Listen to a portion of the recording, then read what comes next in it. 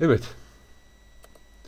Şekilde görmüş olduğumuz arkadaşlar bu kademeli e, mili ya da yatağı çizmeye çalışalım. Bu tür dairesel yüzeylerden oluşmuş dönel parçaların SolidWorks gibi programlarda oluşturulması son derece basittir. Bunun için uzun yollara gitmeye hiç gerek yok. Burada bu dönel parçanın kesit profilini iki boyutlu olarak çizdikten sonra revolve komutuyla bunu son derece kısa zamanda oluşturabiliriz. Yani demek istediğim şu. Şurada görmüş olduğunuz taralı yüzeyi profil olarak çizebilirsek gerisi son derece basit olacak. Peki bu işlemi yapabilmek için hangi üç temel düzlemden birisini kullanacağız? Ben resmi hemen bir miktar sağa çekiyorum. Bakın right plane arkadaşlar duruş bakımından arkada görüyorsunuz turuncuyla bizim şuradaki profilin duruş şekline benziyor. O zaman çizimimizi ne yapacağız? Right plane'i açacağız. Right plane'e tıklıyorum. Sketch dedim. Öncelikle bir eksen çizgimizin olması lazım. Dönel parçalarda bir eksen çevirme eksenimizin olması lazım. Orijin merkezli yatay konumlu bir eksen çizgisi çizdim. Evet. Daha sonra kalan iş buradaki ölçüleri doğru okumak. Bakın şu kısımdan şu imlecimi gezdirdiğim noktadan çizime başlarsak tekrar çizimimizi açalım. Buradan çizime başlarsak nasıl hareket edeceğimizi görelim. Öncelikle eksen ile eksen ile bu nokta arasında çaponun yarısı yani 5 milimetre mesafe var. Bunu biliyoruz. Daha sonra 20 eksi 10 bölü 2 5 milimetre yukarı çıkacağız. Ve buradan sağda 15 milimetre hareket edeceğiz. Line komutunu alıyorum. Arkadaşlar burada bakın kesik çizgiden faydalanarak şöyle biraz büyüteceğim burayı. Orijinden kesik çizgiden faydalanarak yukarı doğru 5 milimetre sağa doğru 15 milimetre hareket ediyorum.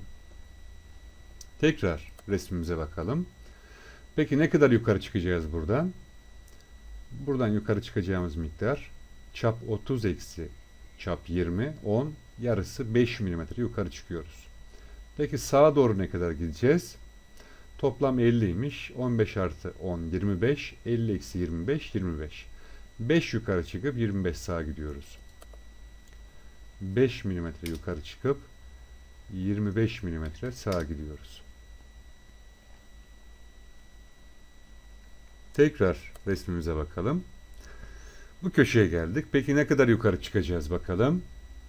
Bu da arkadaşlar çap 100 eksi çap 30 70. Yarısı 35. 35 yukarı çıkıyoruz. 10 milimetre sağa dönüyoruz. Demek ki 35 yukarı çıkıyoruz. 10 milimetre sağa dönüyoruz. Ve buradan bu başlangıç noktasına kadar SolidWorks'ün kesik yardım çizgilerinden faydalanarak bir doğru çiziyorum. Kalanını kapatıyorum. Şu şekilde parçamızı ortalayalım. Şuranın 5 mm olduğunu resimden anlıyoruz.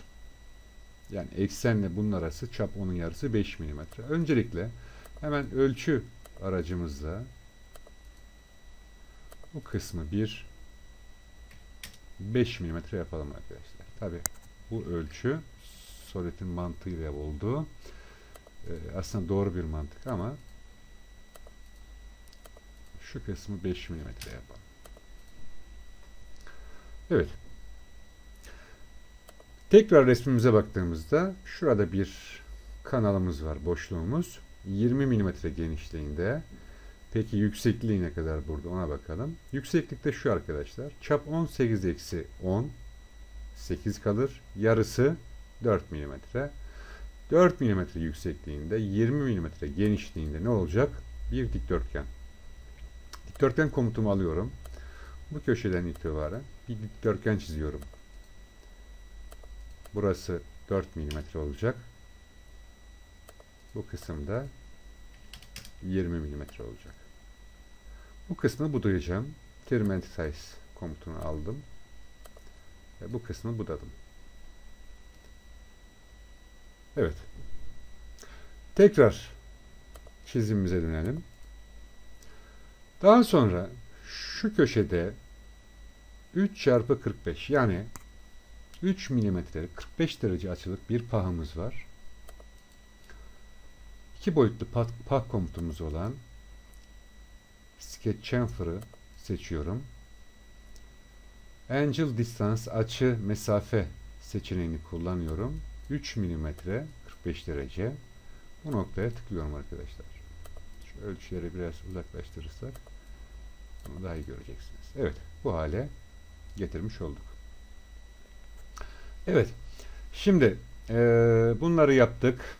Bu işlemlerimiz tamam. Emin olmak için son kez bir şey yapacağım arkadaşlar. Orijinin bu noktasıyla doğrumuzun sol bu doğru çizimimizin soldaki doğrusunu seçip ya da şöyle yapalım. Orijinin bu noktası kontrol tuşuna basıyorum. Diğer iki noktayı da seçiyorum. Vertikal dikeyde hizalıyorum bunları. Bunu niye yaptım arkadaşlar? Bunun anlamı şu. Her zaman çalışırken ya orijin merkezli ya da orijin referansta çalışmakta fayda var. Böylece e, daha sonra bu çizime ekleyeceğimiz unsurları daha sağlıklı biçimde yerine oturtabiliriz. Evet. İzometrik olarak baktığımızda parçamızın profili hazır. Yani buradaki profilimiz oluştu. Ne yapacağız biz bunu? Revolve komutuyla katı haline getireceğiz. Çizimi tamamladım. Onayladım, çıktım. Features 3 boyutlu çizim komutlarına geçiriyorum. Geçiyorum. Buradan revolve komutunu aktif hale getiriyorum. Benden hangi parçayı çevireceğimi göstermem isteniyor. Buradaki parçamın herhangi bir kısmına tıklayabilirim. Ekseni otomatikmen kendisi algıladı. Line 1, Sketch 1'i kendisi algıladı. Eğer çizeceğimiz parçamız buradaki gibi dörtte bir kesitli olacaksa yani yarım kesit olacaksa bakın bunu şöyle yapıyoruz. Buradaki 360 derece yerine 270 derece yazıyoruz. Fakat yön bizim istediğimiz yön değil. Bu tarafta olması lazım. Onun için reverse direction seçeneğini kullanıyorum. Evet şu şekilde yaptığımızda e, parçamızın bu kısmında ya da tamamını katı model halde getirmiş olduk. Tekrar bakıyorum bu kısımlara arkadaşlar. Bir sıkıntımız var mı? Sadece şuradaki 5 milimetreden şüphelendim. Bu şüphemi gidermek için çizim kısmına, sketch kısmına tekrar gelmek istiyorum. Sağ tuş edit sketch ya da çizimi düzenle. Dik baktım. Şurasının 5 milimetre olması lazım. Gözüme küçük geldi. Evet. Burayı 5 milimetre yapmamışız. Ee, isterseniz hemen burada şu ölçülerimizi verelim arkadaşlar. Çap 20, yarısı 10. Yani şu kısım 15 milimetre. Evet, burası 10 15 milimetre olacak. Neden 15 olacak? Çap 30 şu kısım 10 milimetre olacak. Bu kısım otomatikman 10 milimetre. Toplamı 50 idi çap. Hemen eksenden bakalım. 50. Evet. Bu düzenlemeyi yaptıktan sonra gözümüzden kaçan bu düzenlemeyi yaptıktan sonra onayla düzenlemeden çıkıyorum. Tekrar izometrik olarak baktım. Evet şimdi oldu arkadaşlar. Burada 4 adet delik işlemimiz var. Onun için şu seçmiş olduğum yüzeyi kullanmak istiyorum.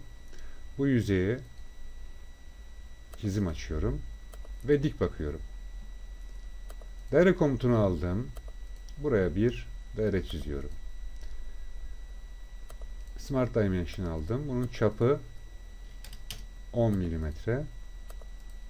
Hemen teyit edelim arkadaşlar. Çap 10 mm dediğim. Bu deliklerin eksenleri merkez eksenlerine bakıyoruz. Çap 80'miş bakın. Yani şu bu delikle orijin arasındaki kısım çap 80'in yarısı 40 mm olması lazım. Peki bu delikten kaç adet var üzerinde bakıyoruz. 1, 2, 3, 4 adet var. Bunun için öncelikle iki boyutlu bir dairesel çoğaltma yapacağım. Linear Sketch Pattern'ın altından Circular Sketch Pattern'ı seçtim. Çoğaltacağım nesnemi gösteriyorum. Orijinimi gördü. Doğru bir yayılma şekli. 4 adet. İzometrik baktım. Evet artık burayı tamamlamış oldum. Ne yapacağım? Features'tan Extrude Cut ile keseceğim. Ne kadar keseceğim? Boydan boya. Boydan boyanın anlamı true all hepsi içinde Türkçesi ve çizimi bu şekilde arkadaşlar tamamlıyorum. Bir başka çizimde görüşmek üzere.